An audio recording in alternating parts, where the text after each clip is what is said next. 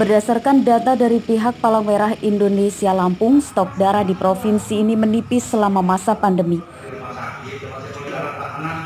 Beberapa pihak pun melakukan kegiatan donor darah untuk membantu PMI menambah stok berbagai golongan darah yang dibutuhkan.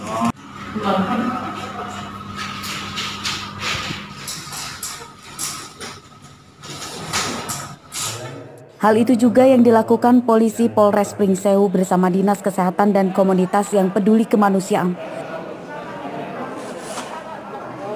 Kegiatan donor darah itu dilakukan di sela-sela operasi lilin Krakatau 2020 Sabtu kemarin. Donor darah ini menerapkan protokol kesehatan secara ketat. Jadi jumlahnya yang mengikuti untuk pelaksanaan donor darah ini rapid test sejumlah 100 personil.